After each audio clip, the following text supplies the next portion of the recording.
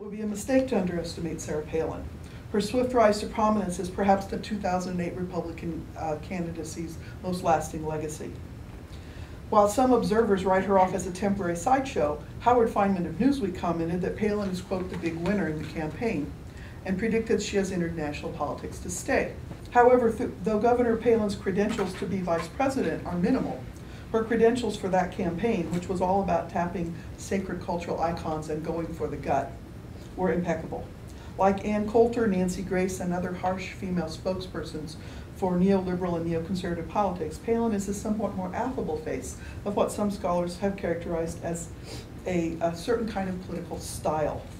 Palin's jabbing index finger, jutting jaw, relentless animation, and amiable smirk sculpt her embodied presence as urgent, her message as alarming. Feminist theorist Elizabeth Janeway called, recalled once uh, that, or excuse me, predicted once that the first woman to make it to the White House would be a vice president picked for balance who was a conservative Republican who believes in the status quo. Janeway was right. While feminists have argued over whether Palin is or is not a feminist, they have warned of the dangers of her policies for women, and they have assessed her treatment in the media. These are not, I argue, the most important questions that feminism needs to pick up with regard to Sarah Palin. Far more crucial is what I'm going to call, quoting the philosopher Michel Foucault, the Palin effect. The way that her presence becomes a kind of generality by extending itself across a political surface, in this case, the surface of US conservative evangelical politics. Palin serves as a potent relay point in a conservative ideological apparatus.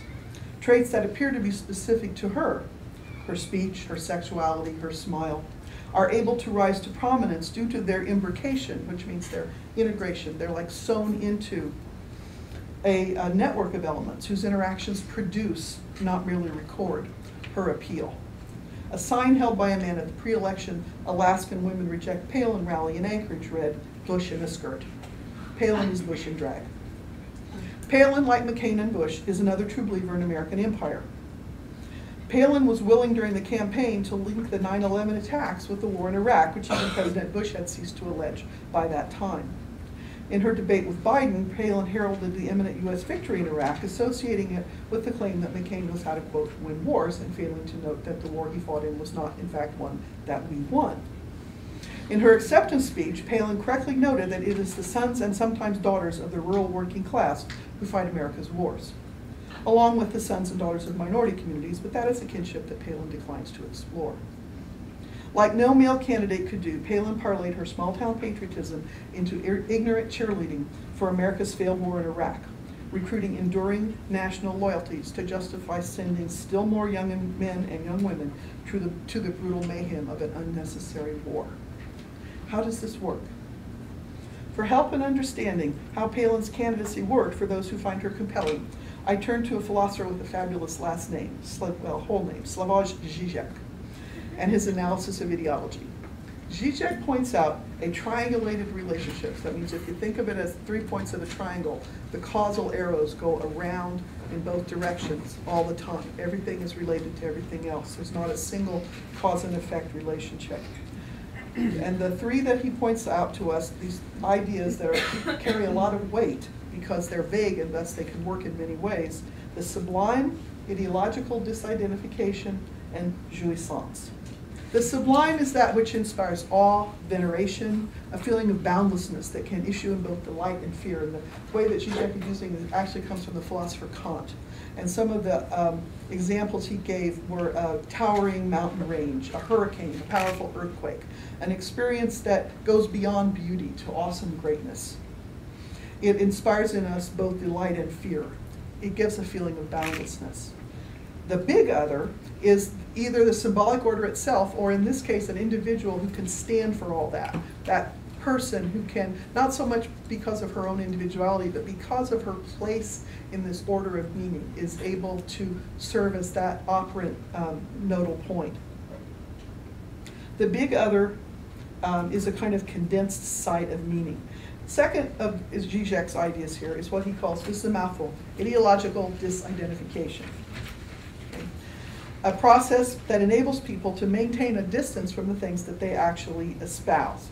And the point of this is the argument that any ideology generates excess. That is, no matter what, what philosophical view you're looking at, can't account for everything. Stuff doesn't fit. Okay, the third in the trio of concepts, remember what this trio does. Each one is both the cause and effect of all the others. The third concept is jouissance, the excessive pleasure that goes beyond ordinary enjoyment, embodies rapture, and can lead to pain.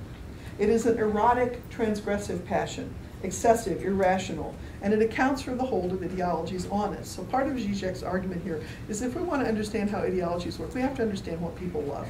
It's about love, it's about passion. The idea of over-the-top enjoyment can be both sexual and appropriative. It signifies extreme or deep pleasure, it can mean sexual orgasm, and in the law, it signifies having the right to use something. Palin's campaign was a site for complex transactions of jouissance. Palin's appeal among dudes, men sporting proud to vote for a hot chick button or carrying governor's I'd like to fuck signs, was an obvious site for a mischievous kind of juvenile jouissance, in which ogling an attractive woman in public is compatible with supporting her politically. Polls suggest that support for Palin's candidacy during the campaign was strongest among men, who predominated after rallies. That's, by the way, starting to change. Her support now seems to be stronger among women. While young white guys with Maverick painted on their bare, depilated chests provide an eye-catching performance of juvenile jouissance, more interesting were the, mediate, were the relations Palin sustained with the male power holders in Republican circles, relations mediated through a back and forth over that erotically charged commodity, the approval of powerful men. The face of feminism that insists primarily on upward mobility for women within existing institutions can, not surprisingly, readily be paired with any institution, including the Republican Party. Ironically, McCain proclaimed that Palin is, quote, a direct counterpart to the liberal feminist agenda for America, when it is precisely the thinnest aspect of liberal feminism that Palin has tapped. But there is much more work for feminism to, to do. Supporters of Palin can pride themselves on their open mindedness in giving women a chance to lead, because I think they have not yet thought very much about the direction this leadership has taken or would take for people such as themselves, for non elite women and men. Just as many African Americans and Latino Americans struggling against racism were appalled at the political successes of conservatives Clarence Thomas and Alberto Gonzales, many more women, including evangelical women, may come to see that Palin's environmental, economic, and military policies, which reproduce those of the Bush administration in almost every respect, are disastrous for them. Feminists and other progressives could seek to build a new political assemblage, to develop a resonance between religious sensibilities and critical political practices. There is already a pluralization within conservative Christianity. There's already a range of people and positions. It, they sent us their worst one.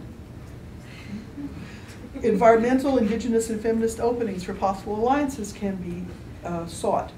Feminists can intervene in these restless spaces, working for a reordering that could erode the appeal of candidates such as Sarah Palin.